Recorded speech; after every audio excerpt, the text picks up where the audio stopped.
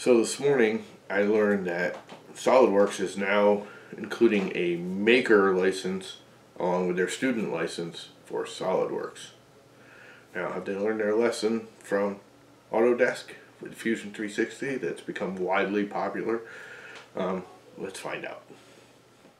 Alright, so it seems that SolidWorks over the last couple of years has learned a lesson from Autodesk. And as of recently, I don't know the exact date, I think it was right around the beginning of the year, which is today is the first of the year, but around around the beginning of the month, last month, they've decided to come out with a maker license, which is attached to their student license. What this now means is someone like most of the guys watching this and myself who aren't making millions of dollars or using it as an actual job can now play with SolidWorks instead of just Fusion. Which one you want to use, I don't know. I kind of like Fusion, but it does have its moments where I get mad at it. But anyways, I haven't actually done this yet. So let's download it and see if it actually works. So here's the URL to go get it.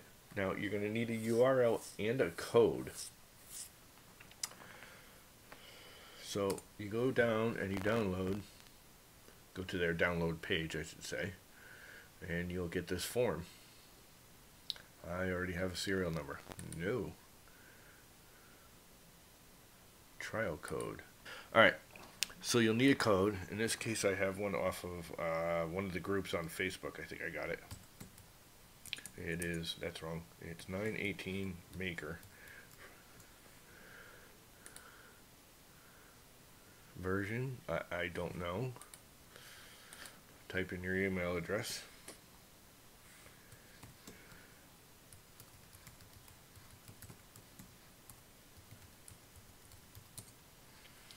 Please select the following student teacher hobbyist. So that's new. Request to download.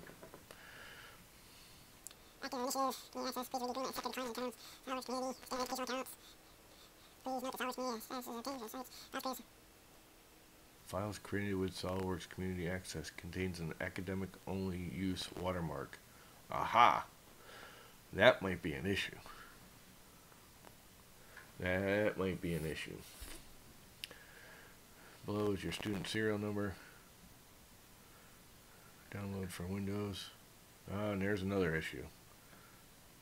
It's for Windows only. So I am done. If you have a Mac, it will not work, and it's also going to have a watermark on it, which makes it so I'll just stick with Fusion. So that's the end of that. That was quick. um,